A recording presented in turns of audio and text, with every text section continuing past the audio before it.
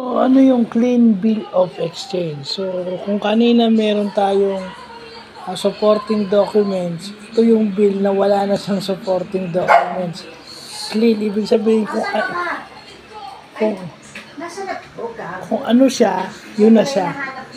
Wala siyang supporting documents. Hindi kagaya ng documentary bill na, na meron siyang supporting documents to support. Ito wala. Ito yung usually daw pag may mataas yung interest rate.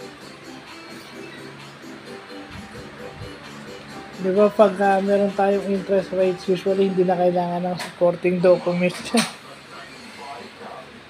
alam na, alam, alam na agad kapag ah, tumaas yung isang yung tumaas yung amount dahil sa interest rate. So, yun. Kung kita pag-aaralan natin yung types of bill of exchange. At familiar tayo sa mga dokumento naman. So, yun lang po.